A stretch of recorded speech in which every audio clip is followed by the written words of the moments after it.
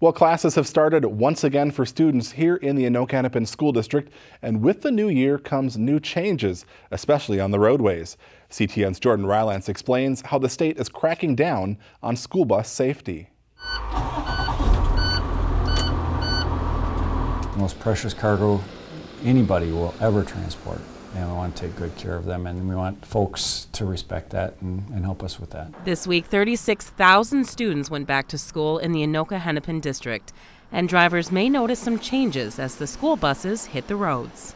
Legislative changes now allow buses to use the eight lamp warning lights when buses pull over in right hand turn lanes, which happens over 80 times a day in the district.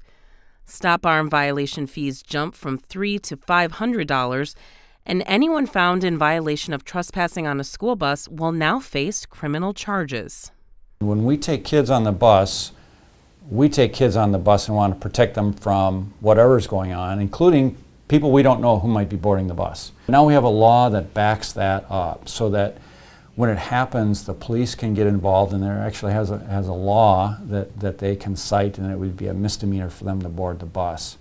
Last year, the district had five instances of parents boarding school buses despite the driver's insistence that they do not. Paulson also says there is at least one stop arm violation per day within the district. We don't want anybody to get a fine or break the law, but if, if this is a deterrent, then that's, that's a good thing. For CTN Community Update, I'm Jordan Rylance.